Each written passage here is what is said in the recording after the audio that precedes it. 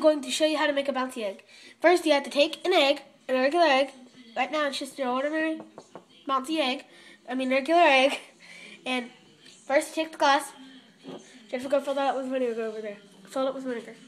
Or just take any regular vinegar. Hurry.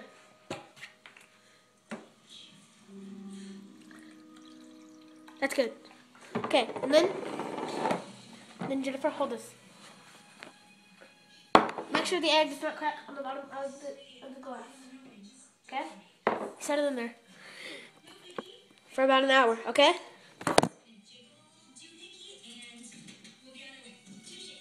Okay, it's been about an hour now, and the egg is still in the jar, and going to dump it out.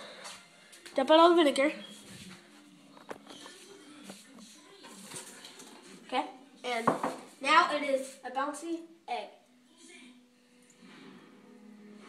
Don't forget to comment right at the bottom.